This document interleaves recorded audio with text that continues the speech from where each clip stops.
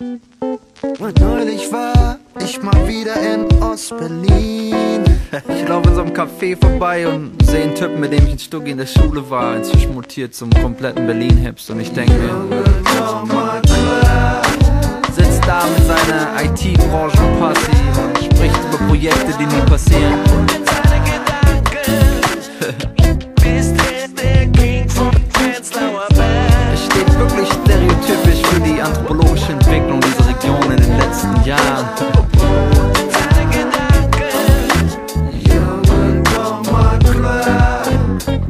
Wir widmen uns heute einer sehr speziellen Spezies, ein Phänomen, das wirklich prägend für die Gegend ist. Einzigartigen Verhalten und Vermehrung, gemeint der Homographicus Ostberliner Prägung, das Männchen. Fruchti Sweatlook und der Trucker Cappy. Sein random Twisted Denim sitzt der wie ne Leggings. An seinen Füßen Hongkong Mund geblasene Nike Dunks. Diese Reagenzglaskreuzung nennt sich Designer Punks, doch keine Angst.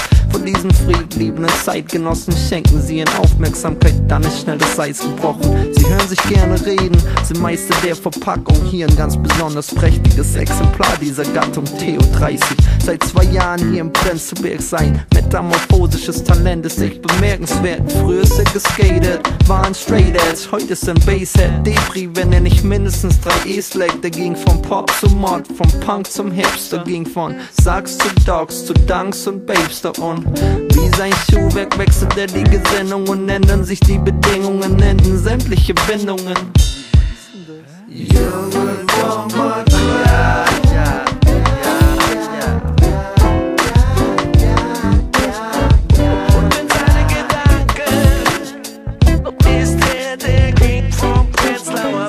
war schon fast vorbei am Café und, und da entdeckte mich und, und winkt mich zu sich her.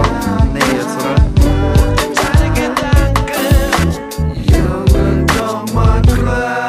Er schrie meinen Namen, dass es ja auch die Runde macht. Schlug auf mein Schulterblatt, dass ich meinen Namen fast ausgekugelt hab.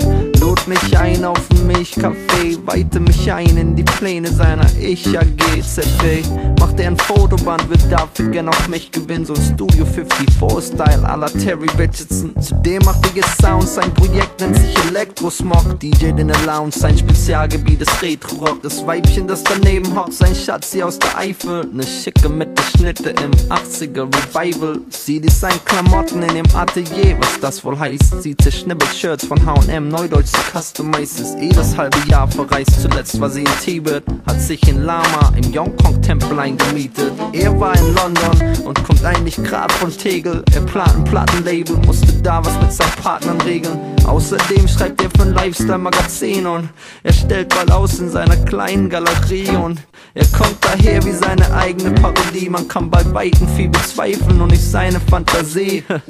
So viel geht bei dir? Und international auch, oder wie? Ist ja geil. Es geht remixmäßig grad voll durch die Decke, euer Projekt. Wow.